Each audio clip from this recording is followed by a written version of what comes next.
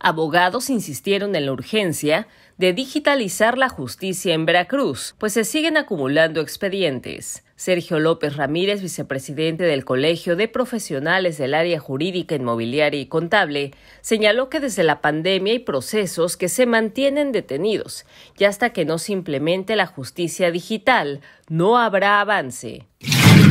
Se sigue rezagando el cúmulo de expedientes por lo de la pandemia y pues el servicio que se ha estado todavía dando no al 100%. Entonces, yo creo que ahí se tiene que buscar ya implementar una justicia digital que la verdad ayudaría mucho. Es una fuerte inversión, lo sabemos, sin embargo, esto va a generar que se evite este atraso, ese eh, acumulamiento de expedientes. Sería mucho más breve el proceder legalmente y evitaríamos en lo futuro ese acumulamiento de expedientes.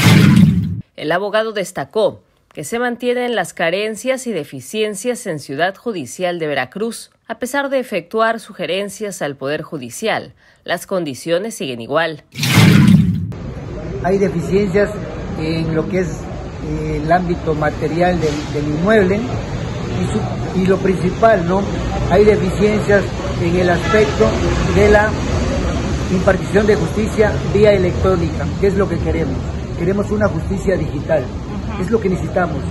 Siempre tenemos la esperanza, nosotros como abogados buscamos ante las autoridades que esto se mejore, sin embargo, el proyecto está parado en el Congreso, que es el que debe de aprobar la justicia digital, para que se etiqueten los recursos llamó al Poder Judicial a atender los atrasos y garantizar una correcta impartición de justicia en la entidad veracruzana.